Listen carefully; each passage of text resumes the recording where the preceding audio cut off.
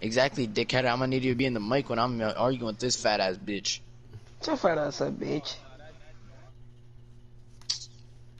No, we didn't, bro. We're we're done by two possessions, bro. I We're got a full by bro. That weak ass jump shot.